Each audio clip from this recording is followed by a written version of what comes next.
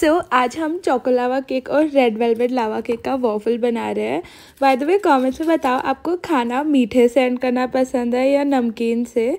तो इसको निकालने के लिए ना बेसिकली चाकू को साइड साइड से निकाल दो और फिर ऊपर से टैप करोगे तो आपका लावा केक आराम से निकल जाएगा। पर मुझे नहीं पता मैं ये क्यों एक्सप्लेन कर रही हूँ? क्योंकि हम प्रिटी श्योर कोई भी ये नहीं ट्राई करने वाला। एनी इसको दो मिनट मतलब वॉफल आयन में रखा है एंड ये बन तो बहुत अच्छा गया एंड टेस्टी भी था मतलब चॉकलेट केक है। टेस्ट में तो कोई फ़र्क आएगा ही नहीं। बट uh, बहुत ज़्यादा मैसी था। मतलब मेरा वॉफल मेकर तो गया इस वीडियो के बाद लिटरली